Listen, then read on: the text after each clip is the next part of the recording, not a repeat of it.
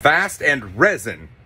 It's not something we normally talk about, but today we are. This is the XiP from Nexa 3D, and their hashtag for it is usually ultra fast. Truth be told, in my experience with it, up until this point, it was not ultra fast. But then I started printing with something called X45 Natural, and I printed this Rook. Check out that detail. That's pretty cool, right? Total print time on this, 15 minutes. That's right. This print, 15 minutes. Thought, okay, let's throw another print at it. Chelsea from Chaos Cortex just did this gorgeous little Pikachu in a Scream mask.